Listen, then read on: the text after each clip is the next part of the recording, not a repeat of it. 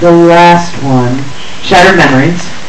Um, I don't think I did any voice acting, but for you Silent Hill fans out there, they're re-releasing two and three, right, in high definition. There has been a huge controversy about this. We had to redo the voices because the lead actor, the guy who played James in Silent Hill 2, who never did anything after that, he wasn't, he's not an actor, he's a businessman. And I think he was at the time, I think he was the father of the little girl from Silent Hill 2. Uh, and they said, oh, you've got a good voice. You want to come and read for the father? And he's like, sure, whatever. So he did, and it's a non-union buyout situation. Even if, in the game world, if it's a union game, it's a buyout situation, unless it's promotions and everything else. It's buyout. You get one fee, no royalties, no residuals, nothing. That's it. So Konami approached him, and they didn't have to. And they said, we just want to make sure that it's okay with you we're going to, uh, because for some reason they like threw out all the contracts or something, who knows. Uh, but they said, we're just going to re-release and we just, we just want to make sure it's okay with you guys. We're going to re-release it. Isn't that cool? And they said, he said, you owe me 10 years of royalties. I'm going to call the other actors. They're all going to get royalties too, and we're going to sue you, blah, blah, blah. So Konami went, okay, bye. And uh, Tomm Hulett, who I uh, worked with um, on the last game, said, we've got to redo the voices. I said, okay, let's get the best people we can. There's, there's a little problem. I said, okay. Uh, we can't change the script. So if you remember, like Angela in Silent Hill 2 has a, a way of talking like, what?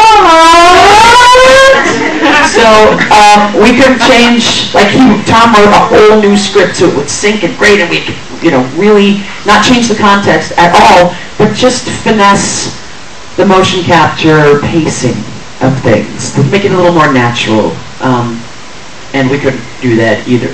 So it was a really interesting uh, exercise in ADR because here you are, someone's talking like this. And that's the pace. And you've got to revoice that, but try and make it sound a little more natural.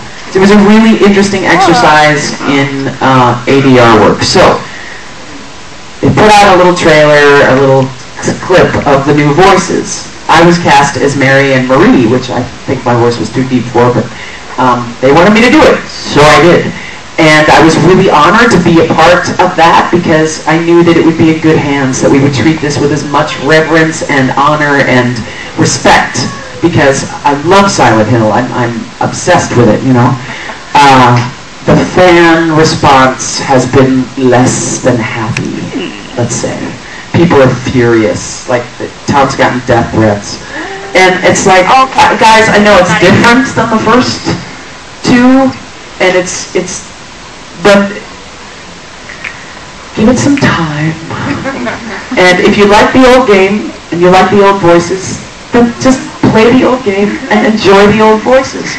But this, on the other hand, this is going to introduce introduce two and three to a whole other generation of players that haven't played it before. So uh, the heart of Silent Hill is there, and it's the respect and the love for Silent Hill is there. If you don't like the voices, I'm sorry, but we really had fun doing it, and we treated it with uh, kid gloves of love.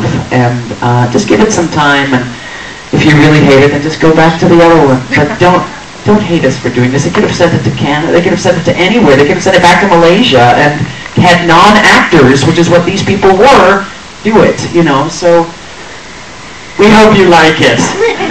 Don't kill us, please. It's just so So, you know, people are really mad about that, and I, I just, you can blame the guy who played James. Because had he not put up a fight, they would have used the old voices. So, what can you do? Nothing. Things change. Nothing to be done. But don't hate us. Send him death threats. Yeah. Don't send anybody death threats. The end of the day, it's a wonderful game to be played. It's a wonderful, crazy, dark, scary world to live in, but it's not the real world. So keep that in mind. Priorities, perspective. Priorities, perspective. No. Any other questions? Yeah. Did you know we have a lakeside amusement park here in Colorado? Do you really? Yeah. Really? No, maybe. Is this Silent Hill? Am I in Silent Hill right now?